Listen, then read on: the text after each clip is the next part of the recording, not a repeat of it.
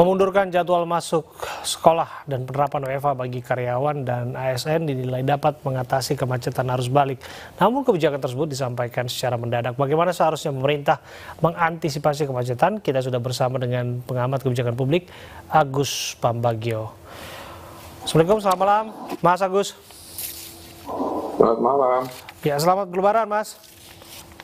Oh iya, sama-sama Aidin Bapak Isi. Gimana? Iya. Ya, saya langsung ke pertanyaan. Menurut Anda efektif tidak sebetulnya aturan yang diumumkan dan dianggap mendadak dengan memperpanjang libur sekolah? Iya, peraturan kan tidak bisa mendadak-mendadak kan harusnya sudah direncanakan ya. Tetapi saya lagi mudik itu selalu akan macet. Tidak mungkin mudik itu lancar, tidak mungkin. Karena kapasitas infrastruktur dengan pertumbuhan kendaraan dan manusia itu tidak berimbang.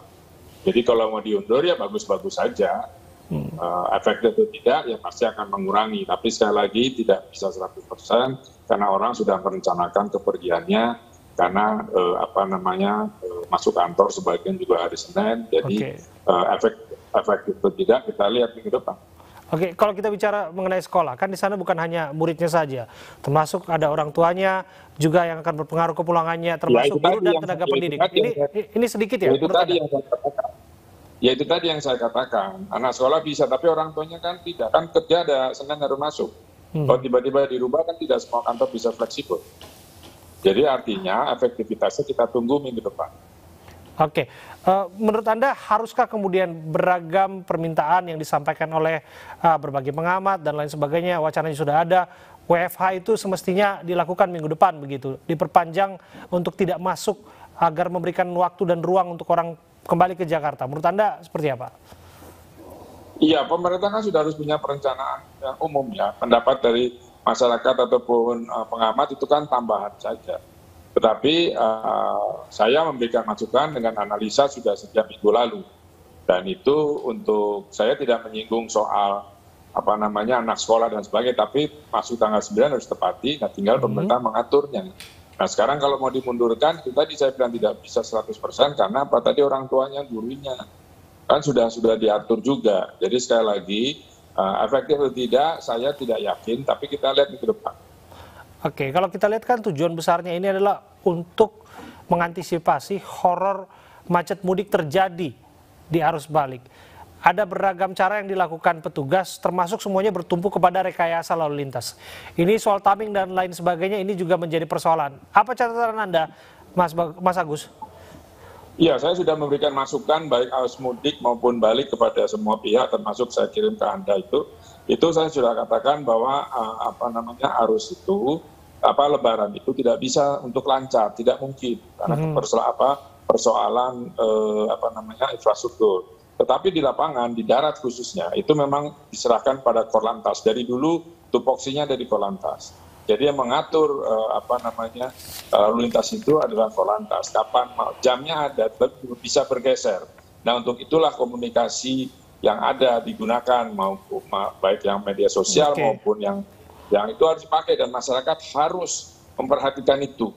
Karena kalau tidak, ini perlu kedisiplinan tinggi dari masyarakat karena terbatasnya infrastruktur. Tidak bisa hanya mengandalkan kebijakan pemerintah dan kesiapan dari aparat. Aparat cukup lelah, dua minggu okay. terus-menerus itu tidak mudah.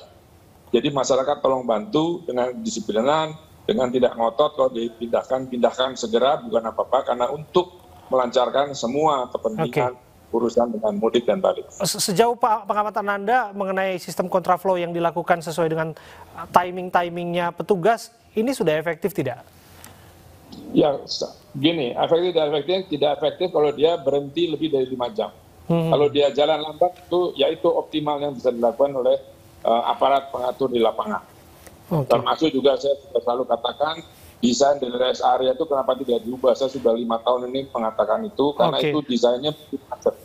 Oke, okay. Mas, Mas Agus, Anda sudah menyinggung tadi bagaimana kesiapan sarana dan prasarana ini juga sangat vital tentu saja. Kita bicara misalnya jalan tol, ada gerbang tol, kita juga uh, tidak bisa melupakan rest area dan lain sebagainya.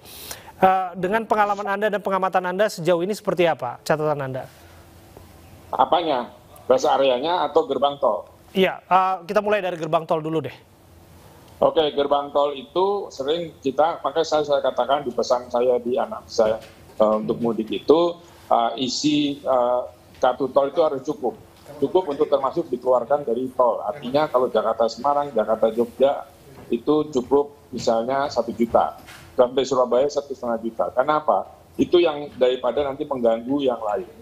Ya kan? Kemudian karena satu detik saja bisa dua mobil itu uh, nambah jadi bisa hmm. padat nah kalau rest area dari itu saya sudah kata. Rest area itu salah desain itu didesain zaman Flintstone gitu ya. Jadi anda mau ke toilet anda parkir depan toilet anda mau makan anda parkir depan restoran anda mau sholat parkir depan musola. Tidak begitu. Rest area yang ada di dunia ini parkirnya ada di depan rest area. Hmm. contohnya ada di ada di rest area uh, 456 antara Solo uh, Semarang kiri kanan itu yang pas. Rest area di depan parkirnya jadi kalau penuh sudah tidak bisa masuk ya harus iya. terus makanya penumpang harus bawa makanan minuman iya. yang cukup dan uh, untuk urinor siap-siap supaya tidak berhenti di rest area. Itu yang sudah kita dengar sebetulnya, keluhan-keluhan ketika rest area belakangan ini uh, termasuk pada saat arus mudik yang lalu itu dirasa penuh, Mas Agus. Utamanya ya, sudah juga... saya ingatkan, sudah saya ingatkan melalui tulisan saya. Ya itu hmm. harusnya sudah dibaca. Jadi aparat sudah tahu harusnya. Dan jasa marga, bina marga, dan juga PUPR saya sudah katakan ini tolong dirubah. Karena kalau tidak memang mahal. Tapi kita pilih mana? Sudah lima tahun saya ingatkan ini. Ya kalau sekarang tidak, ya buktinya di Sumatera baru dibangun sama desainnya, malah lebih parah. Okay. Ya banyak air Uh, di luar itu ada juga yang menarik ketika kita lihat ada beberapa uh, fungsi toilet yang tadinya untuk pria dialihfungsikan untuk wanita itu, uh, Mas Agus ini detail-detail ya, kecil. Ya karena kan saya sudah katakan juga, saya kebetulan tim juri untuk penilaian rest area. Hmm. Saya katakan bahwa apa uh, toilet wanita harus dua kali lebih banyak dari pria. Persis. Karena uh, lama sekali ada ada upacara sendiri untuk wanita dibanding pria ketika mau buang air kecil. Oke, okay. uh, ini kan kita semua bertumpu apa yang kita uh, bicarakan uh, lebih banyak kepada uh, bagaimana pemerintah, petugas dan lain sebagainya. Ini terakhir barangkali, apa yang ingin disampaikan bagi pemudik juga agar mereka juga proaktif untuk memastikan perjalanan arus balik lancar sebagaimana mestinya. Ya, tadi saya sudah sampaikan, saya ulangi lagi.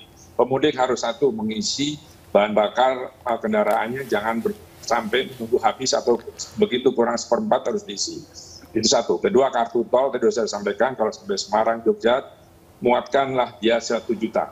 Lebih dari itu ke Surabaya satu setengah bukan apa-apa. Kalau kita dibuang ke kiri ke kanan kan bayar lagi itu. Nah itu harus siap, tidak menghambat. Kemudian tadi siapkan makanan, minuman yang cukup, apalagi buat anak-anak, dan juga bikin urinary emergency, bisa diberi di apotek, uh, untuk kita tidak usah berhenti di jalur apa uh, uh, tol untuk buang air kemudian mobil harus prima, sopir harus prima, dan ada cadangan. Kemudian taati semua rambu-rambu, jangan melawan pada petugas karena itu diatur demi ke, keber, apa, kebersamaan di dalam uh, pengaturan arus uh, mudik dan dan balik. Lalu on kan terus uh, ini apa namanya uh, apa uh, online dari semua BPJT ada di situ, Bina Marga ada di situ, semua di situ, Pertamina dan sebagainya untuk memonitor dan juga Korlantas. Sehingga kita bisa mengira-ngira. Kalau yang ngantri di pelabuhan, tolong beli tiketnya online segera. Jangan sampai tiba di sana dengan calo dan seterusnya. Itu akan memberatkan dan juga taati semua perintah aparat yang ada di lapangan. Baik, terima kasih Mas Agus Pambagio. Saya menghargai waktu Anda ya. berbincang bersama kami di News Prime.